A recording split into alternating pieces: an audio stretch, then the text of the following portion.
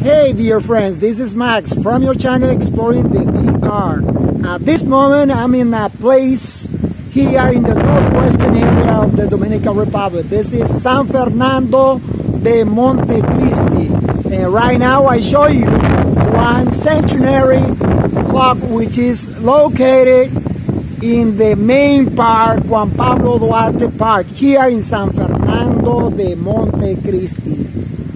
As you can check out, there are so many neoclassical and modern houses all around this park here in the DR.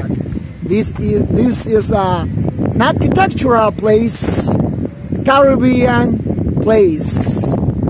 As you can see, there are so many old houses. And just in, across from the park, there's a Roman Catholic church.